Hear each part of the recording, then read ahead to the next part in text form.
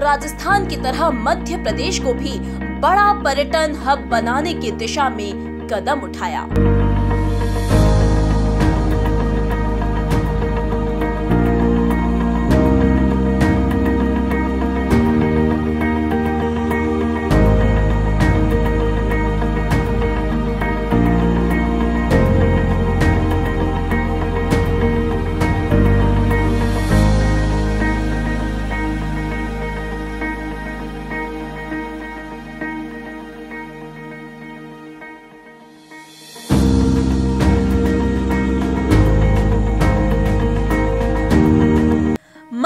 Surendra Singh Baghel MP को world famous tourism destination बनाना चाहते हैं और इसका प्लान तैयार कर लिया।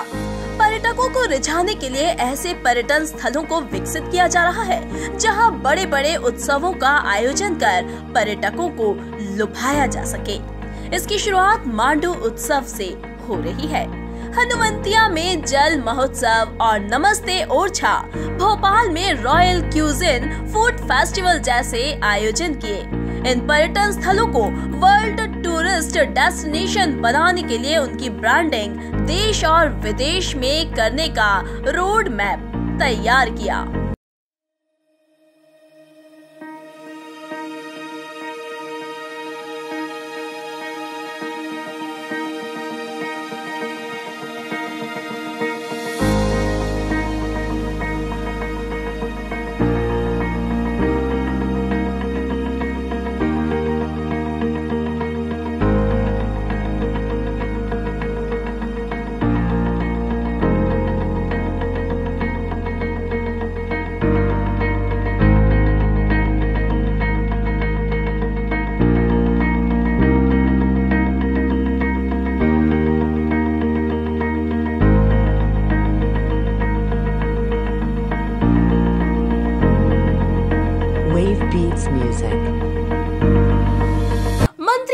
सुरेंद्र सिंह बघेल ने मंत्री पद संभालने के बाद पुरानी पर्यटन नीति में भी बड़े बदलाव किए, ताकि पर्यटन के साथ फ़िल्म शूटिंग को भी बढ़ावा मिले। टूरिज़्म हब बनाने से स्थानीय लोगों को रोज़गार देने की संभावनाएँ भी खोजी। इसी के तहत प्राइम टाइम सीरियल एक दूजी के वास्ते की शूटिंग का शुभारंभ किया।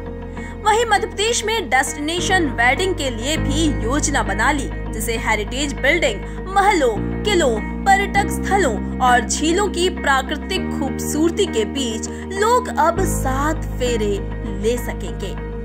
कुल मिलाकर बतौर पर्यटन मंत्री सुरेंद्र सिंह बघेल ने न सिर्फ़ पर्यटन की संभावनाएँ बढ़ाने की कोशिश की, बल्कि टूरिज़्म के सहारे रोज़गार और रेवेन्यू बढ़ाने पर भी फोकस किया bureau report MP news Bhopal